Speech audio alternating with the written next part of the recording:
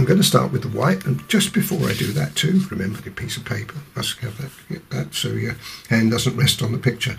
I'm going to take some of this off of my pencil work that I've done. Um, it will interfere with the pastel. Now, I don't, want to, I don't want to rub too much off, I just want to rub just enough so that I can see where I'm going. Just along there would be a good idea in case I decide to do the top of the head too. You, you can just you can just see the lines now.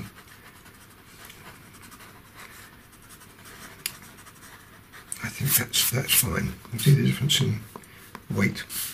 Okay, let's start with the white. Now the white's going to go on as usual.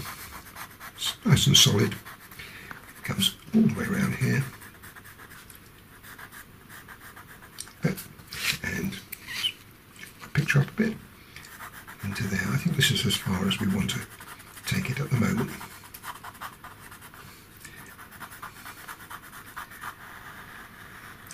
Right, well you can leave that to me. I'm going to fill it all in.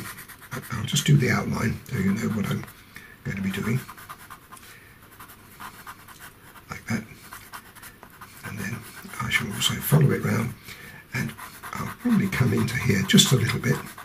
I don't want to drop down as far as the eye and, again the top of the head. There's mostly grey up here, but I shall put a base colour of white in to start with. Alright, so let me complete this section with the white, and then we'll move into the next tone, which will be the uh, one, no, 270. No, it's not. I beg your pardon. It's um, I decided. Now, that's interesting. Why did I choose 230 and 233 as opposed to 270, which I first originally thought I would be using, or and to um, 73. Well, the reason I did that is because I wanted it.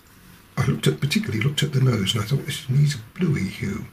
Then I saw a bluey hue on the picture, and so therefore I decided to go back to uh, 230 and 233 it doesn't make an appreciable difference. It's just a tone, that's all. And if you're going to put the 181, which I'm going to put in the nose particularly, and probably around the eye, then I shall need really the bluey greys.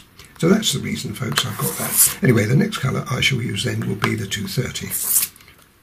Now the 230.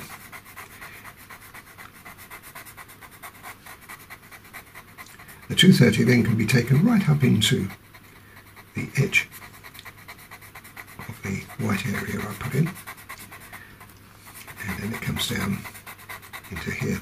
There's a, a distinct difference between here and here which will, when we use the next colour which will be 233 it will be more obvious but that's a nice base there. Now here this is very very dark so I, I don't want the uh, 230 in here but I do want it in here that can then be set against that white.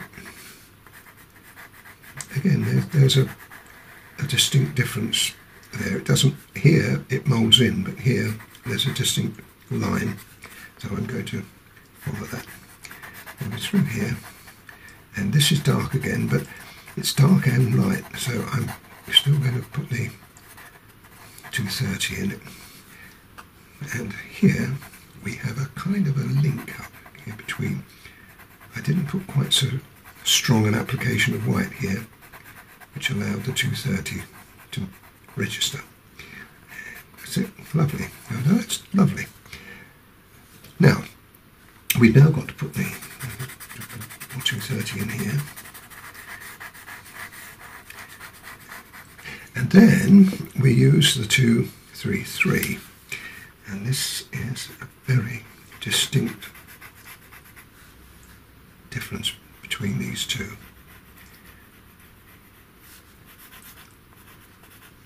And the hair, the white hair, travels up into that. So you might as well start the ball rolling there by putting. And we can put the white hair back, no, white hair back in again. But really, it's um, a nice idea just to set, start the ball rolling. Now here it's very dark, and again we've got some hairs that come up. And in here, the bit I was telling you about, again it's quite dark there, but we've got some light hairs coming in as well. Mixture of bits and pieces. So you kind of you've got a little bit of artistic license anyway. I don't have to follow the picture exactly, but it's nice to follow all the indications. Now there's going to be a, a very dark 181 in here in a minute. We'll be mindful of that. That's more or less the design that I was looking for. And here it's solid. I might as well show you all of this. It's not worth keep breaking off when I've only got a small area. Now, although I'm making coverage quite strong here, I'm not pressing too hard. I'm using the side of the point of the pencil because we've got two other colours to put in here yet, or three in fact, because I'm going to add another tone in a minute. Now in here, this is where we can use the 233 over the top of the lighter grey just to make it just a little bit stronger. And just about here is where we have the transition between the light and dark. And we can bring that into it.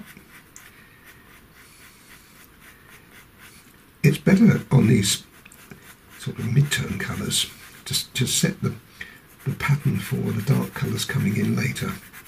Gives you a better idea of what's going on.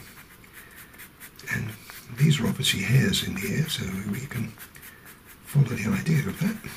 See how nice that is? Right. Um, I will blow it off. I was just thinking, do we need to? Yes, I think we probably do. And we need to just make this just a little more interesting at the top.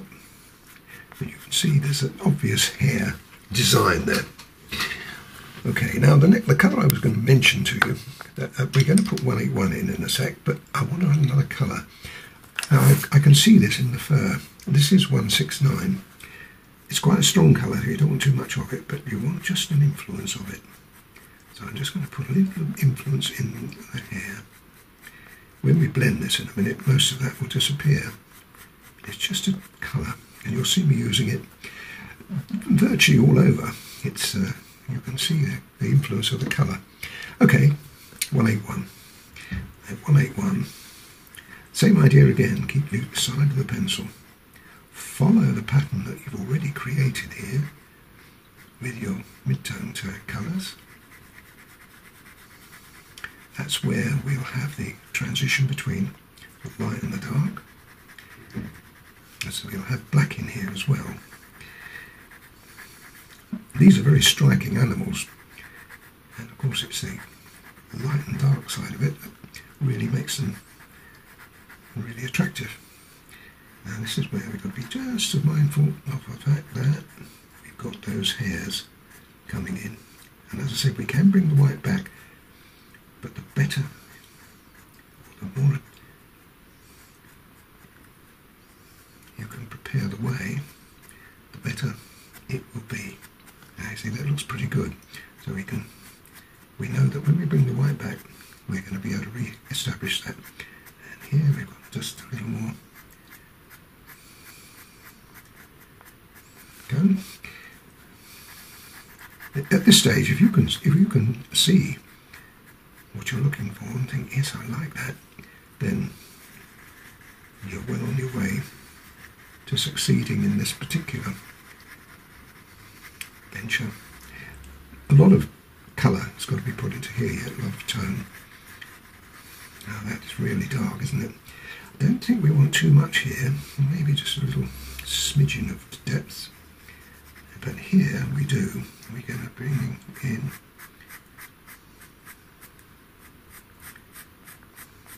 drag this into. There we go. Okay. Now, First time we're going to use the colour shaper.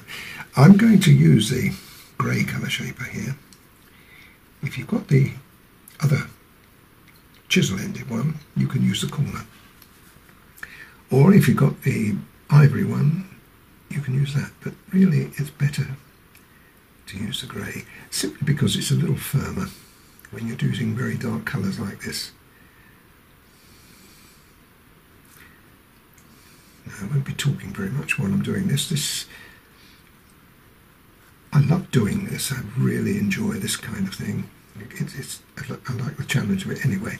Now, this is where we can also use the colour that we picked up on this to bring some of the tones in.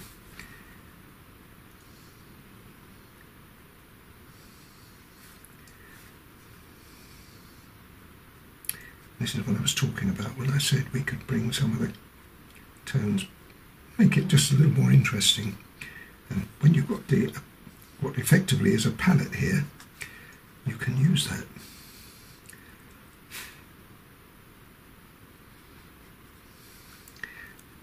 Carry on a little bit longer. Now we've got a mixture of colour in here. We've got the, the greys and we've also got the 169. You remember that colour we put in? Well, that's there we can use that too. That's really nice. And I even think we can go just a bit further than that. Because this was solid white. We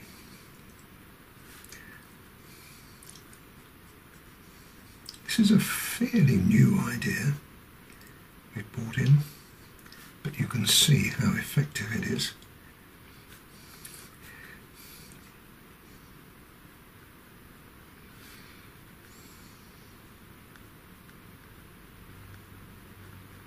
We've still got the black to come.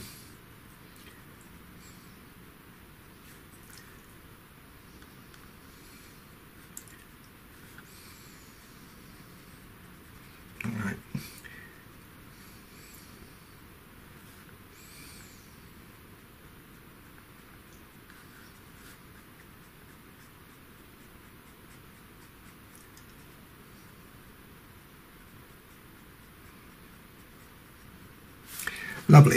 Now that's really good. Where's the black? Here we are. Now this is really solid in here, so the black can go in.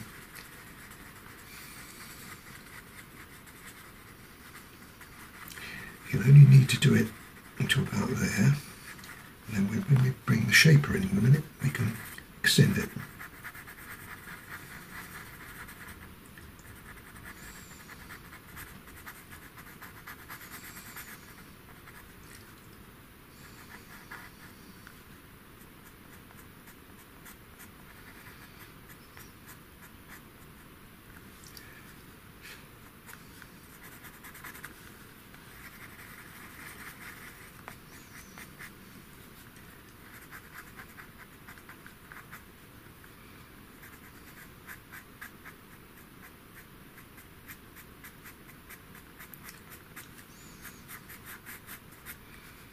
Just got the odd strong black hair that extends.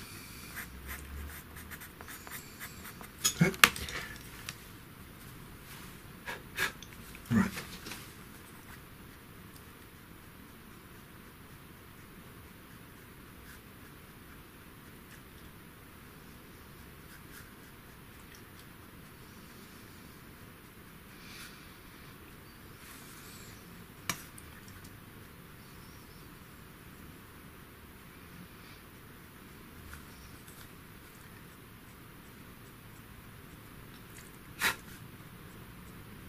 Sometimes that dust can actually be in the way.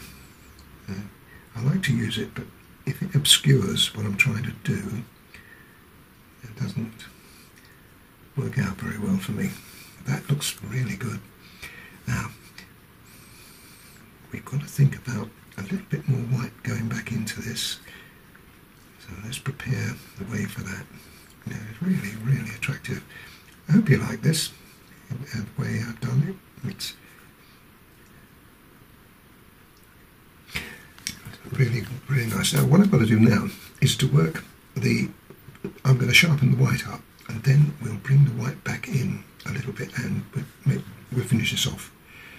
But I think that looks pretty good. I've brought you nice and close now so you can see how this works. Let's start off here. You seen me do this lots and lots of times before. It's when you have a nice sharp pencil and you just bring it over the top of the areas that you've just put in. See how nice that is.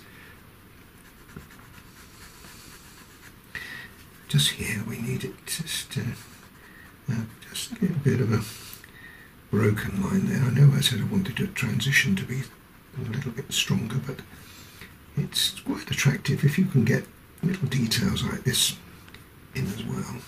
Okay, then it comes down there. And then I've already gone over here with the uh, colour shaper, so we just need that to be just a little stronger.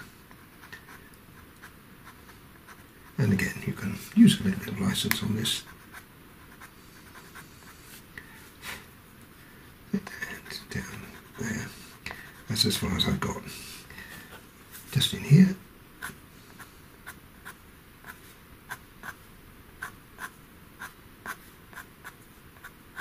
See the advantage of preparing the way? That's dark there. And in here, now this is the area that I was talking about. Now here we've got to bring the white back.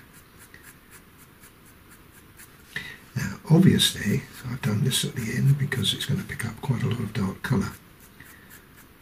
But so what we're doing now is bring it back in. I don't know whether I've done this before ever. But it looks really nice and those darker lines are showing up more.